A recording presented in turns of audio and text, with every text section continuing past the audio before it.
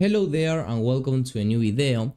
In this one we are going to be uh, going in depth into the move and slide function, this function that exists uh, inside of every single character body and that actually allow us to uh, move this character.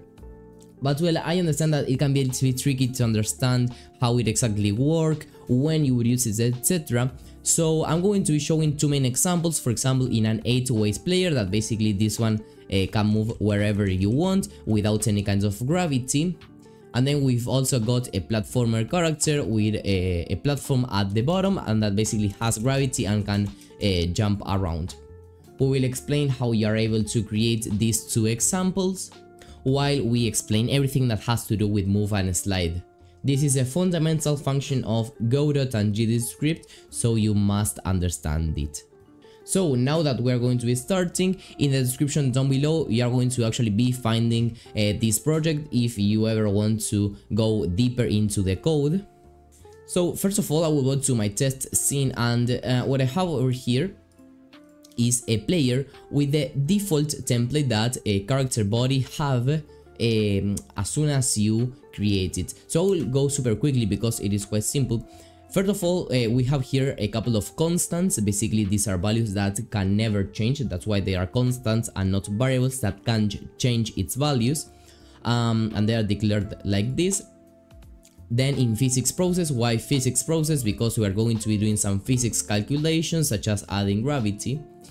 So if the player is not on the floor, we basically add a gravity then we handle the jump basically if we are pressing the corresponding input action and we are on the floor. If so, we basically jump. And then here this is maybe the tricky uh, place in which you may not understand everything. Basically here we have the direction variable and here it says if direction we are basically moving and if not direction basically if we are not moving we do this. And finally we call move and slide. So what is happening over here is that this direction can return three values and we're going to see it right away with a print statement. So right now I am not pressing anything and as you can see the value that we get is 0. Now if I press the left arrow I am getting minus 1, okay? If I press the right arrow I am going to the right. So those are the three values that this direction uh, variable can return. So if direction means if direction is either is basically different to zero okay? So if it is for example a 1 a minus 1 2 3 etc in reality if you don't really understand this what you can do here is um, if direction is different from zero if it isn't empty okay then do that. And as you can see it's going to work eh, in the exact same way and then um, for this other line basically this is handling the deceleration okay? The, uh, this basically has the move toward it has three parameters from and to. Basically it will go from this point to this point at a certain speed. So it will go from the current velocity to zero at the speed that we have defined at the top. Okay basically this speed over here. So it's basically handling deceleration but in reality, if you basically eh, delete this line, it would work quite similarly, okay, at least in this pretty simple example. Um, well, actually, it is not going to work similarly, I'm sorry. It is going to basically continue moving. Um, I am not pressing any key right now and it's continuously moving to the right. But what I wanted to show you here is that you can, uh, basically, if we are not pressing any key, if the direction is zero, as we saw, we can basically set this to be zero. And with that the, the code is much clearer if you are a beginner. And well the functionality is going to be quite similar. So basically these lines means uh, if we uh, are moving then okay we have to update this velocity. And if we are not moving then we must stop the velocity. Because if not the player will always continue moving in the direction. Now uh, and here at the end we have the move and slide function. So now let's actually do some uh, tests with this function. And for that I will basically delete all this code over here so that we get a brand new script let's say. And if we just call the script like this uh, nothing will happen okay? Move and slide won't do literally anything. Uh, I will also uh, use here delta. Sorry I will underscore it as I am not going to be using it. So what we have to understand is that we have a built-in value in character body okay? And by the way that value is not accessible like over here in the inspector. Uh, we can only access it in a script. And that value is velocity. As you can see i am getting like this reference over here to this value and, and i have like no variable having that name. And velocity is a vector 2 so it has both an x and a y value. Um, so we can assign it using basically a vector 2 and if we assign this velocity to be for example 20 in the x and 0 in the y and then we call move and slide what do you think is going to be happening? Instead indeed it is going to be moving to the right at this constant speed. So move and slide let's say that it is actually allowing Godot to update the velocity of this character body. In fact if we just comment it out and we play again this won't work okay? Because yes we are setting the velocity but we are not telling Godot to actually move the character body. And by the way here if you for example give it I know 20 20 it is going to move in a diagonal okay? And you can move it to diagonally up. So indeed it's all about changing the velocity that also combines like these kinds of direction. Because for example what we can do is okay uh, I want to move to the left okay at a certain speed. So for example let's say at a 200 of speed. So this will move my unit to that uh, direction okay to the left at this speed. And this is in fact what is happening with the default code that we saw. Because here remember that direction can be zero if not pressing anything um, is going to be 1 if we are pressing right and if it is minus 1 if we are going to the left.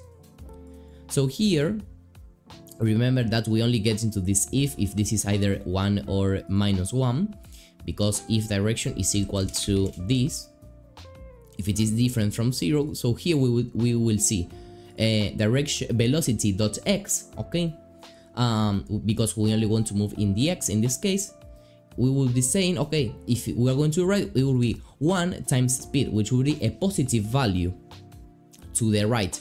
And if it is minus 1, it will be minus speed, and we will go to the left. This is something that we will understand even more in our 8 ways player. So in this case, I call this something quite similarly, just broken down in more steps. So once again here, I am getting the axis, okay, for the corresponding actions. So this horizontal direction is the exact same thing that we have over here, just that I'm using different uh, input actions that I created myself. Not only that, but I'm doing the exact same thing, but for the vertical direction over here.